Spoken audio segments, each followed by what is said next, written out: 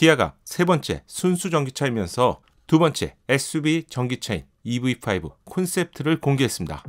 그런데 이 차량은 현재의 일정이라면 올해 여름 정도에 출시가 되는 것으로 알려졌죠.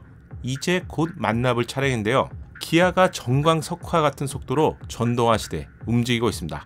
그럼 어떤 차량인지 빠르게 만나볼게요.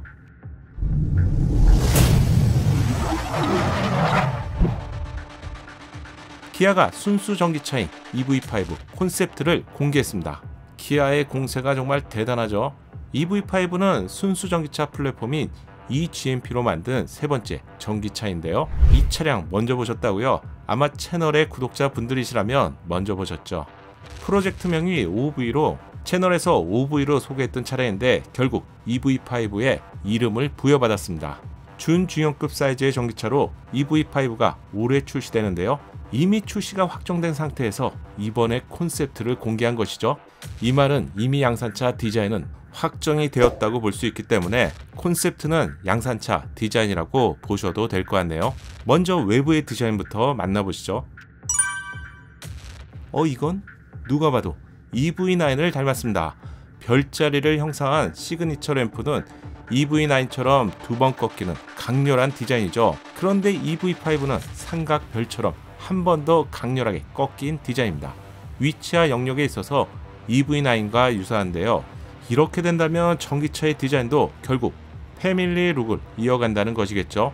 차이점이 있다면 EV9은 위와 아래가 사선처럼 마치 S자처럼 뻗어가는 DRL이라면 EV5는 각진 리을자 형상으로 간결하면서 보다 견고한 느낌을 연출했네요. 특히 헤드램프가 위치한 부분을 블랙 색상으로 처리하면서 밝은 낮 시간에 본다면 커다란 삼각형이 이 부분에 콱 박혀 있는 것 같고요. 멀리서 본다면 삼각형 몰딩처럼 보일 것 같네요.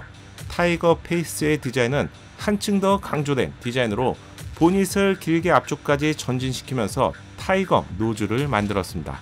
이런 디자인은 큼직큼직한 덩어리감을 강조하는 디자인이라서 준중형급 차량이 마치 중형급 이상처럼 커 보이는 디자인 효과를 얻고 있네요. EV9 보닛 전면 디자인이 수평으로 매끈한 디자인이라면 그릴까지 내려온 EV5 그릴 형상은 마치 커다란 조개 껍질이 열리고 닫히는 한판의 clamshell 디자인이고요. 이마가 조금 돌출되면서 동시에 공격적인 인상을 보여주는 것 같네요. 위장막 촬영에서도 이렇게 보였는데 확실히 존재감이 있어 보이는 것 같아요. 두툼한 입술 같은 skid plate 쪽 디자인은 전기차의 디자인과는 상반이 되는데 앞으로 돌출된 디자인으로 야무진 느낌입니다. 이걸 기아의 상반되는 디자인 철학인 Opposites United라고 할까요? 그럼 측면부 디자인도 볼게요. 측면부 디자인은 두 대의 차량이 동시에 생각나는데요. 첫 번째 차량은 볼보 전기차 XC40 리차지인데요. 꺾인 D필러의 디자인과 floating 타입처럼 연출된 루프의 디자인에 있어서 저는 XC40 리차지가 먼저 생각났고요. 두 번째로 연상되는 차량은 당연히 큰 형님격인 EV9입니다. 차이점이 있다면 EV9 측면부 디자인에 있어서 세 개의 꼭지점이 모이는 삼각형 디자인을 측면부에서 볼 수 있었죠. 덕분에 파격적이었는데요. EV5에서는 이 디자인이 전면 헤드램프 쪽으로 이동한 것 같네요. 측면부는 박스형 디자인으로 비율에 있어서 스포티지보다는 셀토스에 가까운 모습입니다. wheel house cladding을 아주 두껍게 디자인하면서 오프로드의 탄탄함을 강조했고요. 특히 중간에 홈 디자인을 추가하면서 단조로움과 지루함을 탈피한 것 같네요. 또한 바닥에는 배터리가 있기 때문에 통통해 보이는 디자인은 결국 핸디캡이 되죠. 이 부분을 줄이고자 도어 아래 블랙 색상 몰딩을 제법 두껍게 삽입하면서 마치 허리가 잘룩해 보이는 글래머 같은 착시 현상을 얻고 있습니다. 휠 디자인은 기하학적인 삼각형 디자인으로 이 디자인은 EV9에서 삼각형과 사각형 디자인으로 선보였죠. 아마 EV5에서도 비슷할 것 같네요. 측면부의 독특한 디자인으로 아반떼 C필러에서 본 것 같은 패턴이 추가되었는데 마치 뜨거운 CPU를 식히는 방열판 같은 패턴을 볼 수 있습니다. 이 디자인이 side skirt 부분과 D필러에 공통적으로 적용했네요. SUV에서 가장 밋밋한 디자인이 바로 측면부이죠.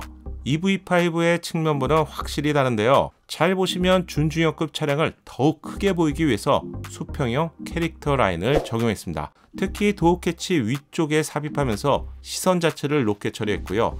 차량을 수평으로 길게 보이기 때문에 준중형급 차량을 거의 중형급 이상의 차량처럼 보이게 만드는 시각적인 효과를 동시에 얻고 있습니다. 후면부 디자인의 핵심은 테일램프의 디자인이죠. 커다란 디귿자 모양의 테일램프는 트렁크 상부까지 치켜 올리면서 로고보다 오히려 위쪽을 지나갑니다. 파격적인데요. 한마디로 작은 차량을 크게 보이기 위한 시각적인 효과를 후면부 쪽에서도 찾아볼 수 있네요. 그런데 이 디자인은 볼보 폴스타2 전기차의 테일램프를 마치 180도 돌려놓은 것 같은 그런 느낌을 받을 수 있네요. 하지만 기아의 디자인 마법은 지금부터인데요. 디자인의 디테일을 곳곳에 숨겨놓았습니다. 먼저 aero spoiler에는 중간에도 tiger nose 디자인을 볼 수 있고요. 측면부에도 비슷한 디자인을 추가하면서 마치 모자를 쓰고 있는 것 같은 개성 있는 디자인을 연출했습니다. 특히 rear window 좌우를 보면 잘룩한 허리 라인처럼 과감하고 또한 굴곡 있게 처리하면서 글래머 look 같은 입체감이 정말 엄청나네요. 하단 검은색 범퍼를 번호판 위치까지 치켜 올렸는데 hip up이 된 것 같은 스포티한 디자인입니다. 범퍼에는 실버 garnish 디자인을 추가하면서 자칫 둔해 보일 수 있는 디자인을 한층 날렵하게 처리했네요. 후면부 디자인은 지금까지 기아가 만든 차량 중에서 가장 전기차답고요. 심플하면서 오래 봐도 질리지 않는 timeless 디자인을 기아가 완성한 것 같습니다. 실내는 콘셉트, 말 그대로 콘셉트라서 가볍게만 볼게요. 기아의 방향성을 이해하는 데 참고하시고요. 실제 양산차의 디자인은 이것과는 좀 다릅니다. 딱 봐도 EV9 콘셉트와 거의 동일한 디자인이죠. steering wheel과 커다란 panoramic wide 모니터를 볼 수 있습니다. 이 wide 모니터는 중간에 작은 모니터 하나가 더 추가된 것인데요. 기존 파노라마 디스플레이에서 wide가 추가된 파노라마 와이드 디스플레이로 변경되었습니다. EV9의 양산차 실내와 거의 흡사한 디자인으로 출시가 예상되네요. 코치 도어를 볼 수 있고요. 시트를 보면 조수석과 2열 시트를 벤츠 시트처럼 하나로 연결한 독특한 디자인입니다. 자연과 사람이 공존하는 공간감을 보였는데 실제 차량은 당연하지만 이렇게 출시가 되지는 않습니다. 이유는 테스트 차량에서 코치 도어가 아닌 standard 도어가 적용된 것을 확인할 수 있었죠. 후면부 트렁크 바닥 공간을 테이블로 변신할 수 있는 스마트한 기능을 볼 수 있는데 카니발 sinking 시트처럼 바닥 공간을 잘 활용했다는 점은 칭찬하고 싶네요. 마지막으로 차량의 크기는 전장이 4600, 전폭이 1865, 전고 1680, 휠베이스는 2750mm 정도로 기아 스포티지 정도의 사이즈로 예상됩니다. 영상이 많이 길어져서 배터리 얘기도 좀 해드려야 되는데 이 부분은 다음 영상에서 추가로 알려드릴게요. 기아가 한마디로 정말 빠르게 움직이고 있습니다. 21년도에 EV6가 나왔고요. 23년도에 EV9, 그리고 EV5, 내년에는 EV7까지 출시될 예정입니다. 이번 영상에서는 기아 세 번째 순수 전기차인 EV5에 대해서 알려드렸습니다. 여러분의 소중한 생각을 댓글로 알려주세요. 구독과 알림 설정을 통해서 EV5의 업데이트된 소식도 자동으로 받아보세요. 감사합니다. 작은 도움이 되셨다면 좋아요 부탁드리고요. 구독과 알림 설정을 통해서 정확한 신차 정보를 빠르게 만나보세요. 감사합니다.